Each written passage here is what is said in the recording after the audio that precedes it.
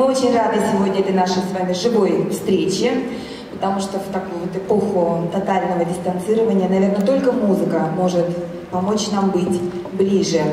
И ведь все наши концерты проходят э, с соблюдением всех санитарных норм, поэтому, пожалуйста, приходите на концерты. Ведь музыка, она доставляет нам огромную радость, дарит нам большую энергию, которая дарит нам, наверное, душевное здоровье, а как следствие и здоровье физическое, чего я всем нам от всей души желаю. Ну а сегодня для вас выступает хор любителей пения города Екатеринбурга. Сегодняшняя программа проходит э, в рамках э, проекта «Музыка, согревающая сердца». Проект рассчитан на разные социальные группы. Это и люди старше 65 лет, и люди с ограниченными возможностями, и все-все-все, кто только любит творчество, искусство и музыку. В этом проекте от филармонии принимают участие два коллектива. Так как уже три года в филармонии существует центр поддержки и развития любительского творчества. Э, в этом центре два коллектива на данный момент. Это любительский духовой оркестр Свердловской филармонии и хор любителей пения города Екатеринбурга. Э, что касается хора, он существует уже с января 2017 года, скоро этому коллективу уже 4 года будет. В общем его составе 130 человек, представители разных возрастов и профессий. Это и врачи, и бухгалтеры, и юристы, и банковские служащие, и финансовые консультанты, бизнесмены, строители. Э, дважды в сезоне хор принимает участие в концертах на сцене Свердловской государственной академической филармонии, активно участвует в филармонических проектах, таких как э, «Ночь музеев», «Безумные дни», а также традиционным стало выступление коллектива в составе сводного Екатеринбургского хора на открытой площадке в историческом сквере в честь празднования Дня России. Что касается э, коллектив вроде бы очень молодой, но тем не менее коллектив уже очень титулованный, потому что он участник многочисленных конкурсов, фестивалей. Так, хор любителей пения, лауреат третьего международного конкурса фестиваля «Предчувствие Рождества Христова» в Санкт-Петербурге, международного хорового конкурса фестиваля «Евразия Контакт» в Екатеринбурге, шестого Всероссийского хорового конкурса фестиваля «Хоровая Москва-2019», участник Международного профессионального форума «Хоровой диалог». Ну а также подведены итоги Всероссийского дистанционного хорового конкурса «Таланты без границ», проходившего с 9 по 25, по 25 мая в Москве. Лауреатами первой степени в номинации «Взрослый хор» стал хор любителей пения города Екатеринбурга.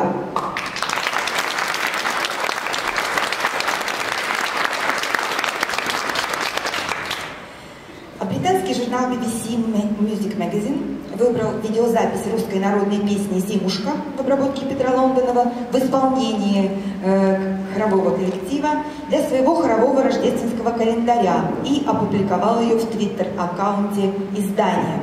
Именно эта композиция сейчас откроет нашу концертную программу «Уж ты, зимушка, зима» в обработке Петра Лондонова. А на сцене хор любителей пения города Екатеринбурга, э, концертмейстеры Маргарита Мазитова и Александра Белозерова, художественный руководитель и дирижер хора Андрей Стариков.